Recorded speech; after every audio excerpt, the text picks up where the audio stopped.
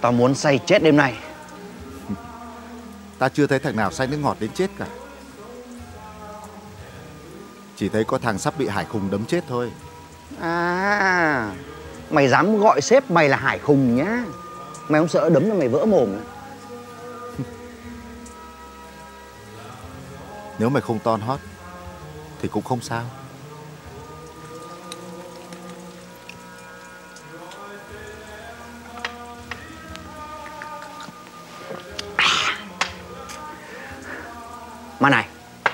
Từ giờ là mày phải thay đổi cái cách xưng hô đi nhá. Tao đã là sếp của mày rồi đấy. Sếp rẻ đấy. Có lẽ phải đổi tên cho mày. Là Khải Phò Mã. Mày đúng là cái thằng bạn mất dạy. Đẩy đời tao vào cái cảnh khốn nạn như thế này. Tại mày mà tao phải lấy cái con sư tử Hà Đông chân dài đấy nhá. Tại mày mà tao phải sống cái cảnh ờ, chó chui gầm chạn đấy. Tại mày mà tao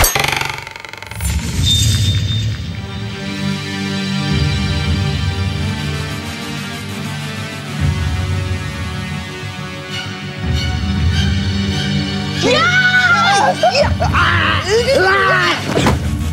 bảo ai là sư tử Hà Đông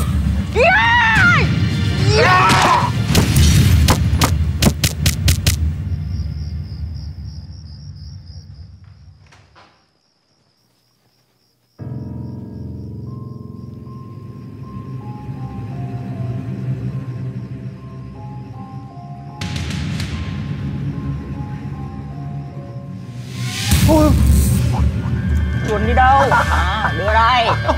Đáng tin con nào? Đâu đâu đâu Đưa đây. Con linh sinh là con nào? Không biết không biết anh không biết À, không biết à?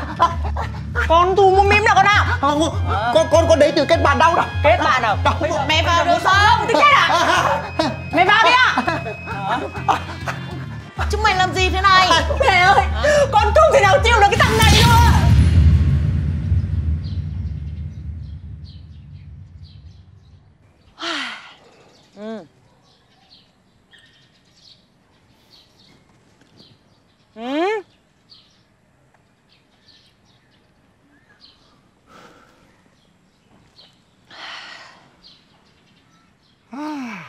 Này.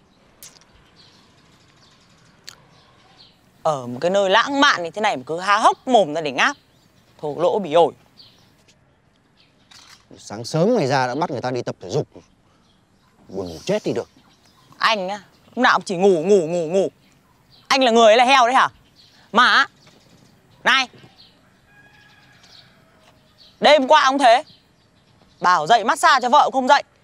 Cứ nằm ngủ lăn lóc ra Đàn ông đàn an kiểu gì mà chả biết chăm sóc cho vợ gì cả. Thôi, thôi lạy hồn. 2 giờ sáng còn định dựng người ta dậy mà massage nữa. Làm ăn thì chả làm ăn được cái gì. Anh muốn làm ăn cái gì? Anh muốn làm cái gì hả? Anh có biết là tôi đang bụng mang dạ chở như này là mệt mỏi khổ sở lắm không? Anh có biết là tôi bị căng thẳng chết như thế nào không? Anh có muốn làm cái gì nữa? Tôi không ngờ anh là loại người ích kỷ thế đâu đấy nhá. Ok, ok mi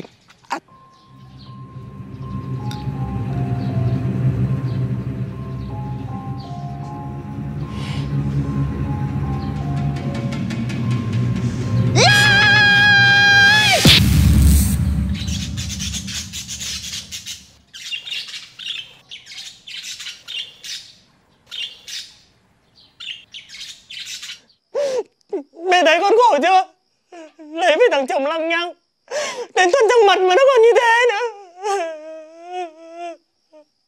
Đàn ông ai cũng vậy thôi. Quan trọng là người phụ nữ. Giữ gìn hạnh phúc như thế nào? Mà con cũng đánh nó ít thôi. Cứ làm nó như bao cát đấy Nó sợ chết khiếp ấy. Mẹ nói đúng. Con đã định đã bay anh ta đi rồi. Nhưng mà nghĩ đứa con ở trong bụng con Cháu bà thì không thể không có bố. Mà con thì phải có chồng. Con quyết định là sẽ cho anh ta biết thế nào là trách nhiệm của mình. Còn nếu mà anh ta không làm được Con đập một phát chết luôn đi. Hả? Rồi mẹ xem Con nói được thì con làm được. Mẹ vừa chẳng nói là Anh ta sợ con phát kiếp lên còn gì nữa. À? Mẹ sợ con thật rồi. Mẹ sợ cả cái nhà này rồi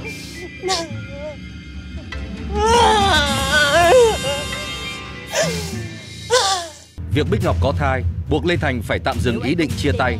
Thì anh phải nghĩ đến con Giữa lúc đó, Quyên hẹn gặp và mong muốn nối lại tình cảm. Em cần được có anh bên cạnh Lê Thành càng thêm dối trí, buộc phải lựa chọn giữa tình yêu và trách nhiệm. Sau cuộc nói chuyện với Phan Quân, Lê Thành quyết định sẽ kết hôn với Bích Ngọc để chứng tỏ sự khác biệt của mình với ông chủ. Không muốn lặp lại sai lầm trong quá khứ của Phan Quân là từ bỏ con mình. Chưa hết rắc rối với chuyện tình cảm, Lê Thành buộc phải đối mặt với những hệ lụy khác khi bước chân vào thế giới của người phán xử.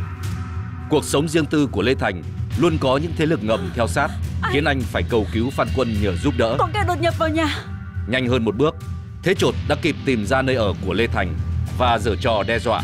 Mày có quan hệ thế nào với Phan Thị? Bằng trí thông minh và tài ứng biến, Lê Thành từng bước vượt qua những phép thử của Thế Trột, thoát khỏi hiểm nguy.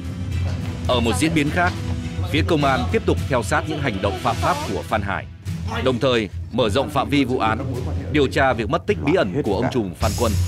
Tôi muốn mở rộng phạm vi điều tra. Đúng như suy đoán của Vũ Bắc, vụ khám xét biệt thự Phan Thị đã khiến ông trùm lo lắng.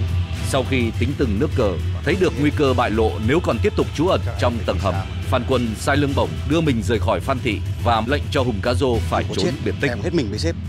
Ta cần người sống chứ không cần người chết